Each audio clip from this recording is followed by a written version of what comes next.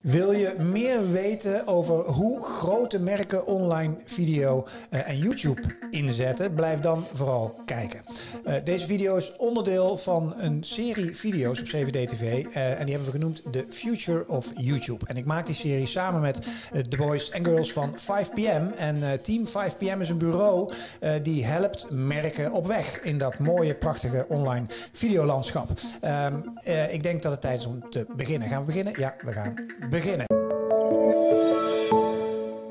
Kim Potters, van harte ja. welkom.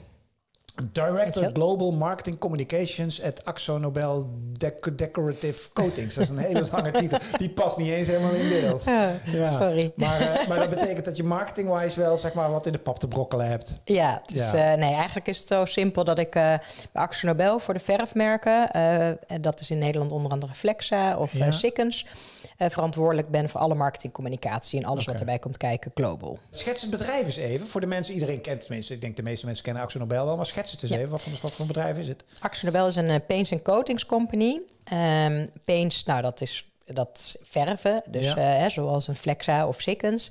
Coatings moet je denken aan bijvoorbeeld car refinishes, dus autolakken, maar ook vliegtuigen, uh, wat op je verpakkingen zit, op uh, mm. telefoons. Nou, je kunt het zo gek niet begin, be bedenken. Alles wat je kunt coaten, daar zitten we ongeveer in. ik werk zelf voor de verfcategorie. wij zijn met, met Dulux of Flexa zijn wij aanwezig in meer dan 45 landen. Dus daarmee is Axo Nobel is ook wel echt een global company. Dus je hebt meerdere uh, paints en coatings companies, maar wij zijn wel echt een uh, hele grote global presence. Als je het marketing communicatielandschap in de volle breedte schetst, wat doen jullie allemaal? Een heleboel. Ja. Dus uh, eigenlijk alles wat je in de marketing-communicatie mix kunt vinden, dat doen we wel. Ja. Um, hè, van de bovenste lijn, dus uh, tv-commercials uh, tot en met heel veel digital, heel veel social en heel veel YouTube uiteraard. Ja. En um, ja, je kunt je bedenken, die verfcategorie, als je kijkt naar hoe de consument daarnaar kijkt, dat is best nog wel een uh, ingewikkelde proces hè, voordat je gaat verven. Dus mensen zijn, daar hebben er best wel wat onzekerheden bij. Dus uh, daar proberen we consumenten ook heel erg te helpen. Naast natuurlijk gewoon het creëren van, van awareness of mental availability van onze ja. merken. En wat voor trends zie je in die mix? Zeg maar? Wat zijn de bewegingen? Voor onszelf, als ik kijk, we gaan ja. wel echt steeds meer uh, digital doen. En, en proberen dat ook wel echt steeds meer te professionaliseren en meer met elkaar ja, in lijn te brengen eigenlijk. Uh, ook een van de redenen waarom we YouTube uh, groot hebben aangepakt. Mm. omdat het eigenlijk een categorie is waar mensen heel erg hongerig zijn naar content. Help content. Ja, hulpcontent, ja, inspiratiecontent. Ja. Hoe moet ik dat doen? Ja. Um, ja, er zit zoveel onzekerheid toch bij in die categorie dat, uh, ja, dat er eigenlijk heel veel content nodig is. Dus die enorme vraag naar content, die zien we wel gebeuren. Wat is jullie YouTube-strategie? Ja, eigenlijk uh, YouTube-strategie. Tot voor kort hadden we die niet echt. Um, en um, hè, bij ons was altijd al het gevoel van ja, YouTube, ja, als ik zelf iets zoek, dan ga ik altijd meteen naar YouTube om het te zoeken. Hoe moet ik iets doen? Wat moet ik doen? Dus um, altijd echt het gevoel gehad dat het voor ons heel belangrijk is. En daarom, maar ja, niet zo goed wetend hoe je dat nou precies goed aan moet pakken. Uh, dus daarom hebben we een heel groot project daarop gedaan met uh, 5PM. Um, om dat aan te pakken. Want wij denken juist, als je kijkt naar. Um, ja, eh, YouTube is eigenlijk de ene grootste zoekmachine. Ja. Hè? En uh, je kunt bijna wel zeggen de grootste ongeveer met Google erbij. De, uh, want hij komt in Google. In Google ook, ook naar boven. Steeds belangrijker terug. En ja, dat is toch wel een manier hoe mensen hoe mensen ja. zoeken en hoe je je hulp zoekt bij dat proces, uh, bij dat verfproces. Ja. ja, dus we hebben eigenlijk gekeken, ja, hoe moeten we dat aanpakken? En, en uh, het was eigenlijk heel grappig, want dat zat dus al in mijn hoofd. En toen las ik een adformatie, een artikeltje over 5 pm. Dat is volgens mij alweer twee jaar geleden inmiddels. Nou, nou was je snel Anderhalf jaar geleden, ja. En toen dacht ik, ik ga gewoon eens bellen. volgens mij is dat precies wat ik zoek. En um, we hebben een pilot gedaan in Nederland daarvoor, dus met Flexa. Ja. En um, ja, eigenlijk gekeken van ja, hoe kunnen we nou YouTube beter inrichten, dat het ook beter in onze marketingmix valt. Ja. Nou, eerst uh, hebben we een soort uh, audit gedaan. En het was eigenlijk best, pijnlijk, wel, best wel pijnlijk. Want zelfs als je Flexa intikte, kreeg je nog geen Flexa omhoog. Ja. Een heleboel andere dingen eerst. Ja, dat, dan is er echt wel werk aan. Veel rode stoplichtjes in de ja. audit, zeg maar. Ja, ja. ja, dat moest natuurlijk anders. Want ja, ik geloof, ja, als gezegd al, ik denk dat YouTube een enorme belangrijke functie heeft om... Uh, voor onderschat, consumenten. Onderschat voor van merken. Ja, en ook gewoon mensen het niet zo goed weten. Mensen denken dat het wel automatisch gaat. Dus je, je maakt een how-to van hoe, uh, hoe verf je dit of dat. Je gooit het op YouTube en, en het zal wat doen. Ja. En dan verbaasd zijn dat drie mensen het hebben gekeken. En dat ja. waren allemaal je collega's waarschijnlijk. Ja. Dus um, um, um, ja, ik denk dat het gewoon niet zo goed weet hoe het aan moet pakken. En tweede is ook wel de resource. Hè? Je moet daar ook wel tijd in investeren om dat te doen. goede content en te toch maken. zit de focus vaak op eerst nog de betaalde content, dan echt zeg maar dit soort, ja, eh, deze organische content Dat ook je- echt op ja, orde ja, krijgen. Ja, ja. Dus ehm, ja, we hebben dat aangepakt en eigenlijk zijn gaan kijken, ja, wat zijn nou de belangrijkste zoektermen? Hè? Welke categorieën vallen daarin? Wat, ehm, wat, wat zoeken mensen? Maar ook vervolgens, als je dan de onderwerpen hebt, hoe zorg je dus ook dat die en naar boven komen in het, in het algoritme? Ja. En hoe zorg je dat, ze, dat je ook eh, ja, mensen blijven kijken, dat ze getriggerd worden om deze te kijken? En hoe doe je dat dan? Ehm, Of hoe zijn jullie dat gaan doen? Nou ja, wij hebben het dus met 5PM samen gedaan. Er zijn eigenlijk een aantal stappen gezet in dat proces. Dus eerst eh, ja, ook van wat moet de structuur van die content zijn? Wat moet er allemaal staan? Ehm, maar echt ook simpele dingen als eh, thumbnails aanpassen. Ja, op goede dingen. Dat je meteen zegt waar het over gaat. Liefst nog iemand erin eh, die dat meteen laat zien. Dat het heel duidelijk gecategoriseerd is. Dat het eruit springt. Ehm, hè, zodat mensen erop klikken. Maar bijvoorbeeld ook, er was best wel een trend van ja, alles moet korter. Ja, want op Facebook eh, vijf seconden om te laten zien dat dit je merk is en je boodschap over te brengen, want anders is iemand alweer weggescrolld. Maar YouTube heeft natuurlijk een hele andere rol. Dus Ja. wat op een gegeven moment gebeurde bij ons, dat alle video's onder de 15 seconden waren. Maar ja, dat is voor YouTube-algoritme niet zo goed, Nee, want dan kom je dus niet naar boven. Nee. Nee. nee. Dus dat is toch wel een hele andere manier van daar Ja. naar kijken. Ehm, en ja, echt ook een, eh, een, ja, gewoon een soort filter. Hè. Alles is goed gestructureerd. Je kan makkelijk vinden. Ehm, het is ingericht met eh, verschillende playlists. Eh, we hebben het channel verbeterd. Maar ja, het andere is ook van ja, hoe ga je die content maken? Dus we zijn Ja. bijvoorbeeld veel meer how-to content gaan maken, gaan En waar moet creëren. dan aan denken? Hoe heb je dat vormgegeven? Wat, wat, wat, Die how-to content, ja? je kijkt dus echt waar mensen op zoeken. Hoe schilder ik een raam? En dat ja? ga je dan gewoon doen met Nou, dan iemand moet je dat die- laten zien. Ja. Ja. En wij hebben daar een bepaalde, hè, iets, iets wat bij ons een bepaalde manier van op te doen. Ehm, maar ja, dat, je moet dat wel vullen. En, Ja. eh, en we willen dat dan ook. Hè. Ik werk zelf global, dus ik ben verantwoordelijk voor alle marketingcommunicatie globally. En dan wil je dat ook nog een beetje efficiënt doen. Dus ik wil eigenlijk wel iets maken wat dan in meerdere landen gebruikt ja. kan worden. En net als dit, deze opzet van hoe we hele YouTube-kanalen hebben ingericht en hoe we dat doen, dat wordt ook uitgerold nu naar andere landen. Wat is je doel met eh, je YouTube-strategie? Ehm, wat wil je daarmee? Nou ja, ik wil dat als eh, mensen aan eh, verven denken, en dan hoe dan ook, dat ze bij ons komen. Ja. Dus of dat ze denken, nou ja, ik eh, wil heel graag mijn eh, kamer schilderen. Ik ren naar de winkel en haal Flexa. Dat is ook prima. Maar heel veel mensen, hè, toch ook, nou, niet alleen de jongeren, maar, maar de, de huidige generatie, zeg maar, die gaat toch in die zoekmachine kijken hoe doe je dat of Ja. inspiratie. En dan wil ik gewoon dat ze bij ons komen. En hebben jullie conversiedoelen met YouTube? In de zin van dat, er, dat je zeg maar, kan tracken, tracen, dat het ook leidt tot conversie?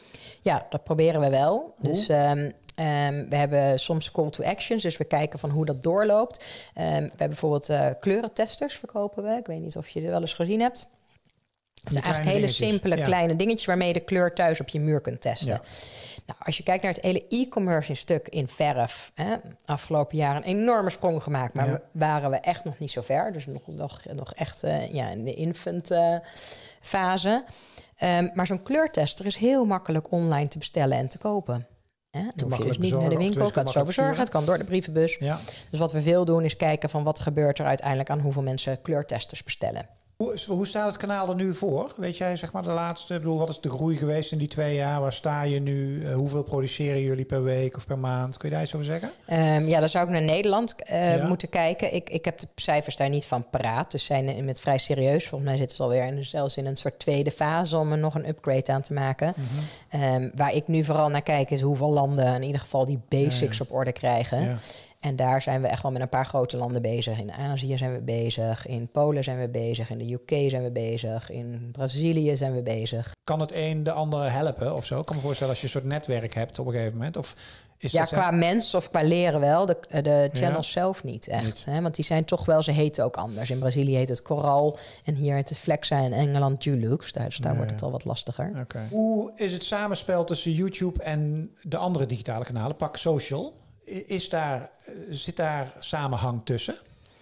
Campagne-wise of eh, whatever? Nou, natuurlijk ja, wel hoe we het inrichten. Hè? Zo van wat, wat doe je op welk kanaal? Hè? Ja. En zo moet dat ook zijn. Hè? Dus eh, ja, je hoeft geen drie minuten how-to te laten zien op Facebook. Dat heeft echt weinig zin. Wat we wel doen bijvoorbeeld in campagnes is soms snip, ja, short um, how-to's gebruiken om te triggeren, inspiratie te geven en dan door te sturen naar YouTube. Daar kun je natuurlijk de dus hele social inzetten als. Maar ik denk wel, dit is wel echt iets waar we in aan het ontwikkelen zijn, wat we moeten leren, wat we steeds beter moeten doen. Ja.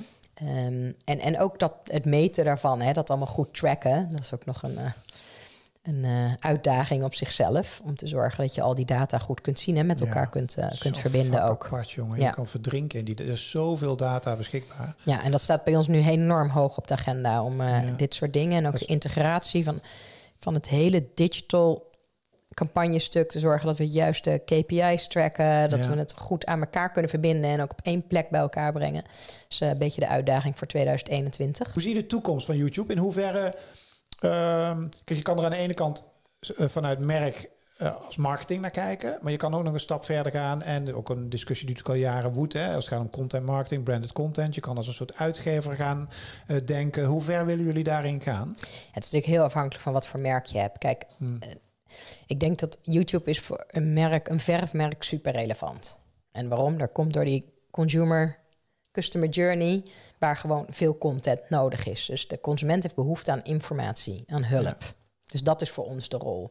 En er zijn ongetwijfeld een Red Bull natuurlijk die ongeveer een eigen uitgever is van content.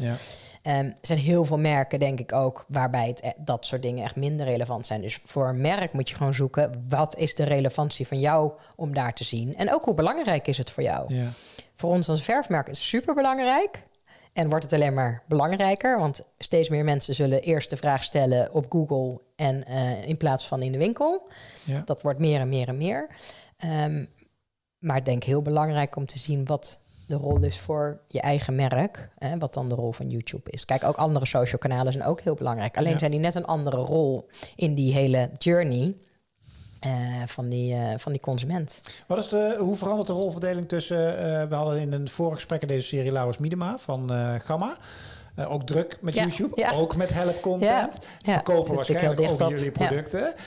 afgelopen jaar heeft natuurlijk een enorme boost naar online gekregen. Ook zij zijn nog aan een beginfase. Verandert die rol in de, in, in, zeg maar in de keten uh, tussen bouwmarkt in het algemeen en jullie als producent van, die, van verf? Nou, een deel geef je natuurlijk ook hè, gelijke content. Het mooiste zou zijn als je dat samen kunt doen. Ja. Um, hè, maar um, ja, wij hebben natuurlijk wel hè, liefst dat als er dan geschilderd wordt, doe het dan met Flexa en niet ja. bij een ander merk. En Gamma, bij Gamma, en Gamma. Een, een, als Gamma verkoopt natuurlijk ook zijn eigen merken ja. en uh, dingen. Dus hè, daar zit denk ik wat Hè, dat zag je ook toen wij die, die audit gingen doen, hè, dat er een, een uh, aantal uh, bouwmarkten wel heel hoog komen met de content. Ja. Dus het is ja, hoe relevant is jouw content? En ja. daar zit een klein stukje competitie, is ook niet erg. Maar Qua YouTube-strategie zit er absoluut een stukje concurrentie, hè? want ze hebben ook eh, typisch van die help. Ja, je doet van diezelfde soort content. Alleen gaan wij bijvoorbeeld dieper in op verf. Kijk, zij moeten een heleboel categorieën doen, wij, wij maar eentje. Maar zitten jullie wel eens om de strategische tafel met dat soort partijen om eens te brainen of je samen dingen kan doen en gezamenlijk die 1 en 1 is 3, zeg maar even cliché. Ja, gebeurt wel eens. Ik zit nu natuurlijk zelf niet meer in Nederland al een tijdje. Dus ik ben de, de, laatste ontwikkelingen daar, die heb ik niet heel erg uh, voor de bril. Um, maar um, ja, hè, ook, ook, toen ik er zelf zat, dat is wel heel leuk om daarover na te denken. Hoe je, hoe gebeurt je dingen dat samen Praten jullie met als partij aan natuurlijk. Hè? Dat zijn voor jullie belangrijke partijen, partners. Maar ook als je kijkt naar... Het is eigenlijk voor alle retailers, of ze nou online verkopen of echt iedereen, die zoeken ook naar meer content. Kijk, zij moeten zoveel doen. Dus als wij kunnen helpen met content, dan is dat alleen maar. Uh, ja, dus uh, 1 en 1 is 3, zeg maar. Dus, um, maar ook hè, de online kanalen ook, die zoeken ook voor extra content. Dus um, ja, je moet, je moet gewoon als, als, um, als merk moet je gewoon ook steeds meer uh, leveren daarin en ook in helpen. Kijk, wij zijn echt, wij hebben echt een hele diepe kennis van de verfcategorie. Nou, daar wil je natuurlijk je eigen klanten ook mee helpen, zodat mm. ze het liefst ook zoveel mogelijk aan mensen aan het schilderen krijgen en, uh, en, en, het, ook lukt. ja, maar het is echt merkvoorkeur bouwen, hè? Want, want ik bedoel, dat is natuurlijk het vloek in de kerk wat ik nu doe, maar weet je, ik ga ervan uit dat of ik nou, weet ik veel, merk A, B, C of D, ja, dus jij zult waarschijnlijk ja, maakt wel uit hoor. Hè? Maakt wel uit. Tuurlijk. Goed, laat dit maar. Wij doen de testen. Een uh, paar dingetjes nog die ik van, jullie, van jou wil weten. Uh, hoe belangrijk zijn uh, influencers? Dus zeg maar van die enorm groot bereik influencers ja. die met een flexapotje hun muurtje aan het verven zijn? Ja, wij werken best wel veel met influencers. Ja. Um, ook voor heel erg dat inspiratie onderdeel.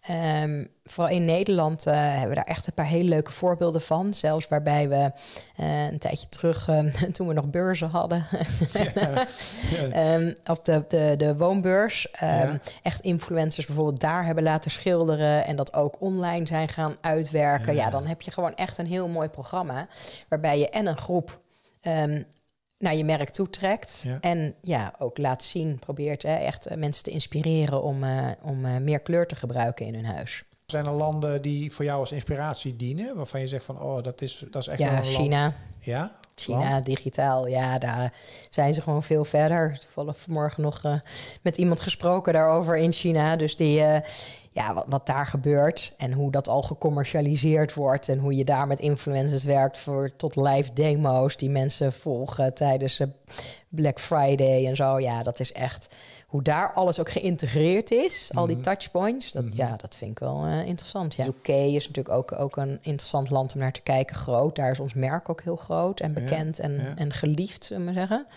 Um, uh, en ook bijvoorbeeld in Brazilië gebeuren echt wel interessante dingen. Daar zijn ze digitaal toch ook wel uh, ja, behoorlijk stevig. En het zijn natuurlijk hele grote landen, waardoor ja, daar ook wel wat mogelijk is. Even zo naar de kijkers zeggen, ga vooral eens kijken. Ga eens googlen op Flexa en eens kijken hoe snel we op het YouTube-kanaal gaan uh, belanden. Mag ik je danken, Kim, uh, voor dit gesprek. Ja, bedankt. En uh, mede namens Team 5PM, dankjewel voor het kijken. En wil je meer video's zien uit de serie The Future of YouTube? Blijf dan nog vijf seconden hangen. Dan krijg je zo meteen twee nieuwe video's te zien. Kun je meteen doorkijken. Voor nu, dankjewel. Hoi.